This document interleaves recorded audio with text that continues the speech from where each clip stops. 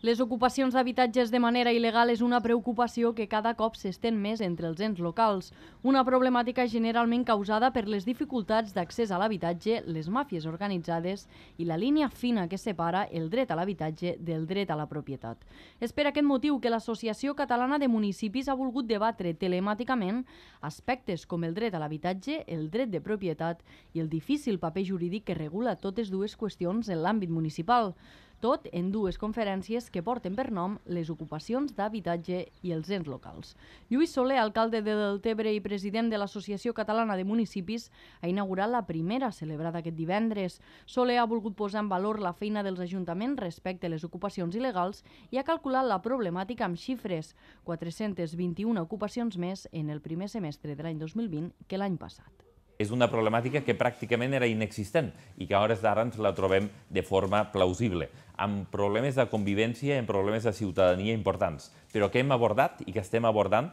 amb els pocs mecanismes que tenim des de l'administració local, amb els pocs mecanismes que podem fer directament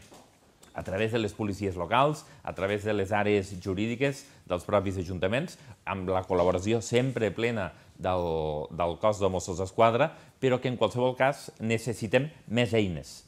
La propera jornada se celebrarà amb el mateix format el dijous 26 de novembre.